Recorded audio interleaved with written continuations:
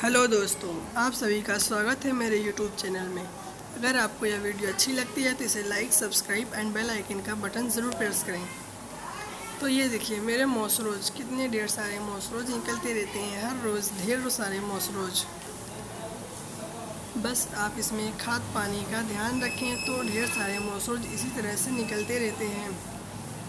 ये देखिए dark pink और वाइट हमने इसमें कुछ नहीं करा है, बस ये प्रकृति के हिसाब से अपने रंग को ढाल दिया है। और बाकिया और बाकिया जो हमारे मौसरोज हैं, वो उसमें हल्का पिंक और वाइट है।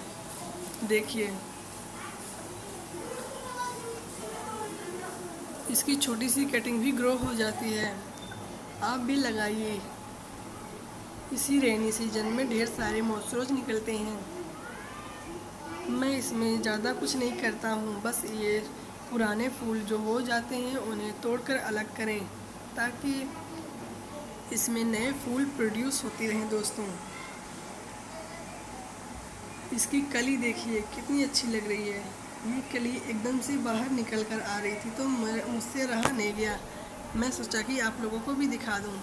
देखिए, कितनी खूबसूरत कली। इसी के साथ दीजिए मुझे इजाज़त। Good bye.